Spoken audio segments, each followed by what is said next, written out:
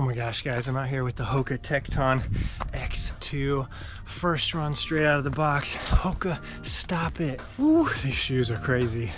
Big, big updates from the first version. These shoes are ready to rock. Oh my gosh, let's go.